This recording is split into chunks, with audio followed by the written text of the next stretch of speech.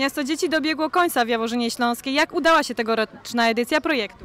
Tak, to były pięć dni pełne wielkich emocji, atrakcji dla dzieci, dla nas również, jako obsługi całej organizatorów e, całej imprezy. No, dzięki nam tak naprawdę 150 dzieci z gminy Jaworzyna Śląska, które nie miały okazji wyjechać nigdzie, miały taką półkolonię, podczas której wiele rzeczy na pewno się nauczyły. Opowiedz nam o swojej przygodzie z miastem dzieci. E, No było e. E, różne, e, teraz będę występowała w teatrze i po prostu było cudownie. Naj, chyba najlepiej na, w moim życiu. Chciałabyś zostać aktorką? Tak, chciałabym bardzo. E, jakie prezenty sobie kupiłaś za zgromadzone pieniądze? E, takie, takiego e, górala mogę nawet pokazać e, go za chwilę i takie mydełko, które robili e, w mieście dzieci.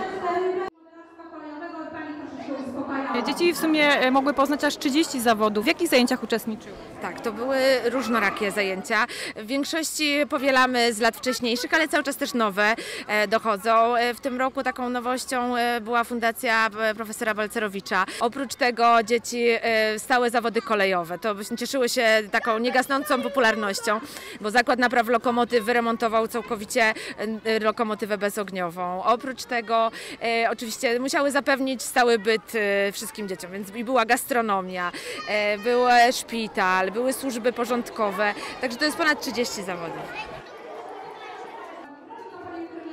Co najbardziej Ci się podobało? Najlepiej mi się podobał klub sportowy. Ani tańce. Tańce. Nauczyłaś się tańczyć? Tak, lubię bardzo. A Tobie? A mi się najbardziej podobało, że, że byłem policjantem i wlepiałem mandaty i też e, byłem na klubie sportowym i grałem w piłkę. A chciałbyś zostać policjantem? Tak. Jakie warsztaty Pan prowadził? Ja prowadziłem warsztat napraw ciuchci. Tak co dzieci sobie wymyśliły. I właśnie na tym warsztacie te dzieci tutaj na mieście dzieci pracowały.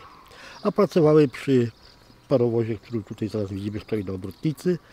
Jak ostatnio widzieliśmy e, ten parowóz, e, no nie wyglądał tak pięknie. Co przy nim zrobiliście?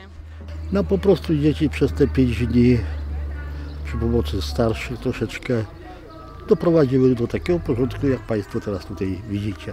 Jesteśmy dumni z tych dzieci, że pomogły nam w odnowieniu parowozu. Już jeden okres będzie więcej przed halą wachlarzową i będzie trzeszło oko nie tylko dzieci, ale i dorosłych. Że stanie się atrakcją muzeum. Tak, stanie się atrak- atrakcją muzeum, ponieważ tych parowozów tej serii już bardzo dużo nie zachowało. Tutaj w Polsce są tylko dwa.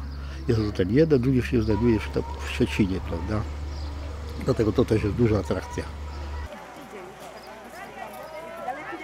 Dzieci bawiły się i zarabiały też pieniądze. Zasada jest taka, że te dzieci mają y, to, co y, wyprodukują, mogą kupić w innym zawodzie. Więc chodzi o to, żeby dzieci uczyły się obrotu, e, obrotu tej gotówki.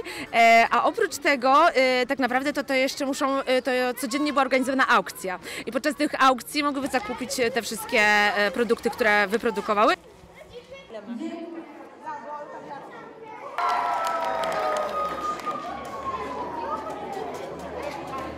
Jak Wam się podobało na mieście dzieci? Fajnie. Fajnie. Fajnie. A co najbardziej? Yy, klub sportowy. A co robiliście tam? Yy, graliśmy z bijaka.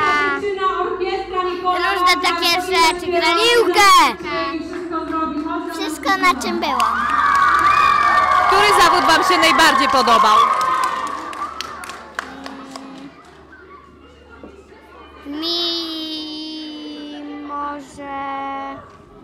Może Taniec. taniec. Chciałabyś zostać tancerką? Tak. Ja się nazywam Oliwia i bardzo kocham taniec.